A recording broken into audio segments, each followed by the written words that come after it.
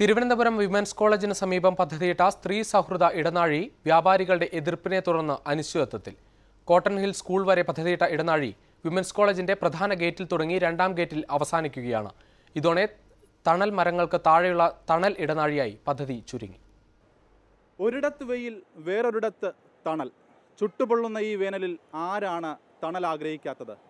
എന്നാൽ പ്രകൃതി തന്നെ ഒരുക്കിയ തണലിടങ്ങളിൽ തണൽ ഷെഡ് കെട്ടി വിചിത്രമായ സൗന്ദര്യവൽക്കരണമാണ് തിരുവനന്തപുരം നഗരത്തിൽ പുരോഗമിക്കുന്നത്. വഴുതക്കാട് വിമൻസ് കോളേജിന് മുന്നിലൂടെ യാത്ര ചെയ്യുന്ന ആരും ഈ നിർമ്മാണം കണ്ട അമ്പരക്കും.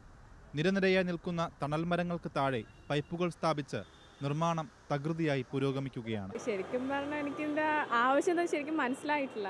തറയൊക്കെ പാകാനാണെങ്കിൽ ഒക്കെ കുഴപ്പമില്ല. പക്ഷേ ഇത്രയും ഷെയ്ഡും മരങ്ങളൊക്കെ നിൽക്കുന്ന ഒരു സ്ഥലത്ത് ഈ ഒരു ഷെയ്ഡിന്റെ ആവശ്യം ഉണ്ടോയെന്ന് അറിയില്ല. എന്നാൽ ഇത് വെറും ഒരു തണൽ ഷെഡ് അല്ലെന്നാണ് നഗരസഭാവാദം. സി സി ടി വി ക്യാമറയും എഫ് എമ്മും ഘടിപ്പിച്ച് അത്യാധുനിക സ്ത്രീ സൗഹൃദ ഇടനാഴിയാണ് ലക്ഷ്യമിട്ടത്. അതും രണ്ടര കോടി ചിലവിൽ. കവേർഡ് ഫുട്പാത്ത് ഇവിടുന്ന് തുടങ്ങി. വഴുതക്കാട് ജംഗ്ഷൻ വന്ന് അവിടെ ഒരു ഫ്ലൈ ഓവറിലൂടെ കോട്ടൺ ഹിൽ സ്കൂളിലേക്ക് കയറുക എന്നുള്ളതാണ് നമ്മൾ ഈ പ്രോജക്റ്റിന്റെ ഒരു തുടക്കം. അങ്ങനെയാണ് ആ പ്രോജക്റ്റ് എടുത്തിരുന്നത്. അപ്പോൾ വ്യാപാരികളുടെ ഇടയിൽ നിന്നൊരു ഒരു ഒരു അസ്വാരസ്യം അല്ലെങ്കിൽ അങ്ങനെ ഒരു പിണക്കം വന്നു. കാരണം അവരുടെ കടകളുടെ മുൻപിൽ ഇത്തരത്തിലൊരു കവറിംഗ് വന്നു കഴിയുമ്പം അവരുടെ വ്യാപാരത്തിന് തടസ്സമാകും വ്യാപാരികളുടെ എതിർപ്പിന് പരിഹാരം കണ്ടില്ലെങ്കിൽ സ്ത്രീ സൗഹൃദ ഇടനാഴി ഇവിടത്തെ തണലിന് തണലൊരുക്കി അവസാനിക്കും.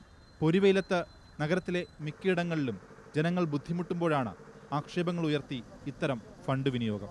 നഗരസഭ വിഭാവനം ചെയ്യുന്ന രീതിയിൽ ഈ നടപ്പാത ഉപയോഗപ്പെട്ടാൽ നല്ല കാര്യം.